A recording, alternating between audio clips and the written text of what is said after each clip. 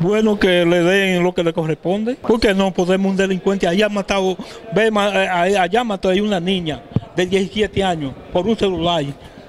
Después mató otro, un comerciante, por allá, y, lo- y no tenía ni, ni- ni cuatro meses de soltarlo. Y, y, y- entonces ve, ve, ve cómo viene, porque eso es una banda. No, yo no sé, yo no vi a nadie disparando, yo no puedo culpar a él. ¿Tú me entiendes? Ni a él ni a nadie, porque yo no vi a nadie disparando ni nada.